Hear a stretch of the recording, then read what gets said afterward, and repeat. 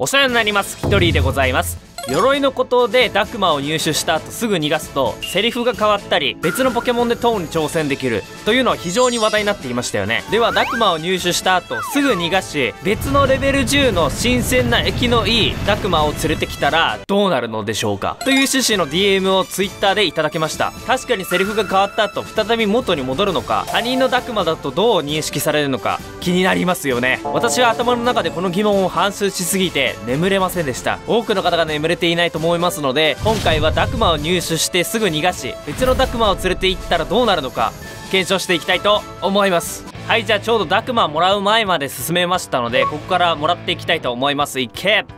ダクマ来るよ早く。早くして。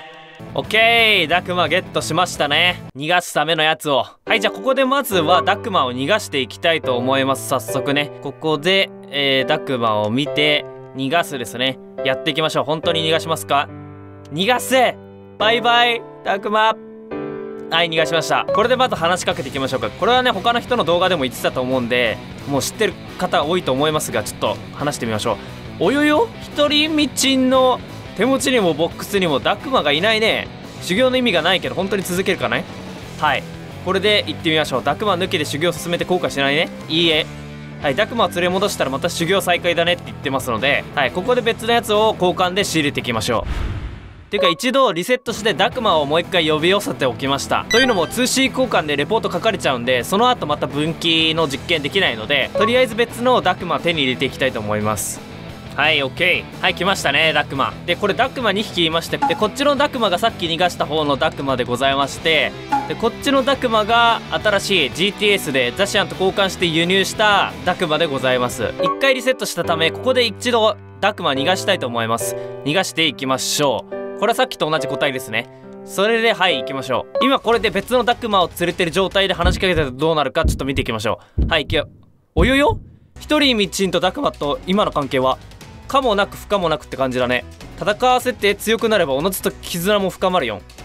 あそうなんだ。普通にこれあ認定されてるってこと？君たちが仲良しちゃんになれたらダクマの修行を始めるからね。あマジか。普通にこれ認定されてますね。ダクマ認定。ということは他の人のダクマでもちゃんと認識されるってことですね。もう一つ検証したいことがあってダクマを逃がして進めて塔に入る時に別の人のダクマを入れてやってみたいと思います。まあ、とりあえず一回リセットしましょう。でさっきの逃がしたダクマは復活してて別の人のダクマいますのでこのダクマをまたね送ってってそれでダクマ1匹にしたいと思います。まず。はいオッケー。ダクマもう交換で使われすぎてもうひどい体になってるだろうね。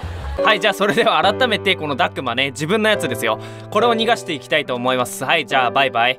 また逃がしていく。それでまたこいつに話しかけると手持ちにも口にもダクマがいないねっていうことなんでまあ、続けるかねって続けていきましょう。はいそうするとテクテクテクテクで例のセリフが聞けるわけですね。えもうここはもう散々ね皆さん聞いたと思うんですがはいここはいこの辺りでいいかね？次頑張ってもらうのダクマの修行場。双形の塔だよ。オッケーオッケー。ここ行きましょう。青いのは水の塔。赤いのは悪の塔。登れるのはどちらか一つの塔のみ。ダクマがいないと本当に意味ないけど今からでも連れ戻して挑んでほしいね。ということは多分また別のダクマでも多分できるってことでしょうね。まあそれはそうですけど、えー、じゃあ悪の塔行きましょうか。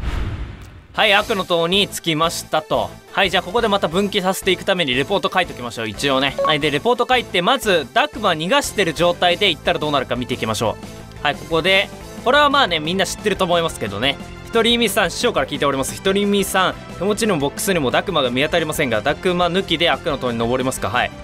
一度選べば後戻りはできませんが本当にいいのですね。オッケーオッケー。残念です。ということで登れるっていうことですね。まあこれが異常だってことで話題になってたんですけどね。あっていうかこれちょっと待って。しかも1匹じゃなくていけるんだ。知らなかった。これは知らなかったですね。いっぱいいてもいけんだ。だって普通だったらダクマ1匹じゃないといけないですよね。これ。そういう意味でもすげえんだこれ。じゃあここでまたリセットしていきましょうか。はいじゃあリセットしたのでここで通信交換やってきます。おしまたダクマ来ましたね。お疲れさん。お前特に交換で酷使しちゃってごめんよ。はいじゃあダクマは別のやつだけ持っておりますのでこれをね手持ちに入れてやっていきたいと思います。いけ！どうなるかな？普通にいける？師匠から聞いております。こちらは悪のとダクマ専用の修行場ですので手持ちをダクマ1匹にして挑戦してください。うわそうなるんだやっぱり。普通にできるってことだねこれ。はいじゃあダクマ手持ち1匹にしていきましょう。いけ！話しかけていく。ここ悪のと悪の極意を教え込む修行の場。OK いいよ。こうやっていきましょう。はい登りますか。はい。普通に行けたー。